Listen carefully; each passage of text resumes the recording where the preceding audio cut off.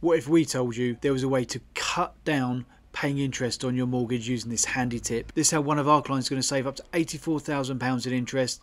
We're going to run through a quick example of how they're going to do that. But first of all, let me explain what we're talking about. So we're talking about overpayments. This is where, say, for example, you have your standard monthly mortgage payment and you would choose then to pay an additional small amount over and above what your mortgage payment is. This is called an overpayment.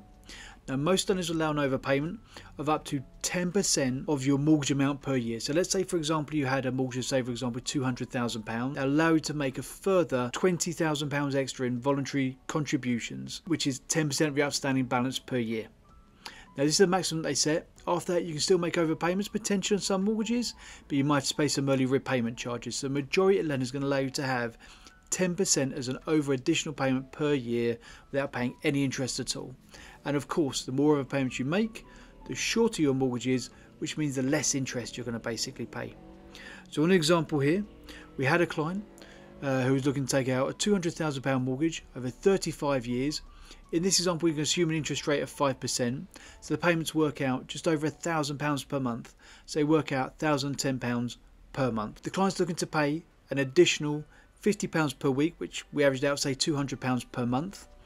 And that basically means that they've chosen to make that overpayment. This is going to reduce their mortgage term by 11 years and 7 months and save them 84,000 pounds in interest, which is absolutely fantastic. It is also quite flexible as well.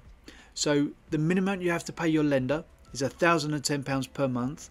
The overpayment is completely your choice. So if you set that up as a direct debit or a standing order from the lender, um, you chose to pay this extra £200 or you chose to transfer ad hoc every single month, you can always stop that overpayment or reduce that overpayment and just drop back down again to your £1,000 a month should stuff get tight, should you have an emergency or anything like that.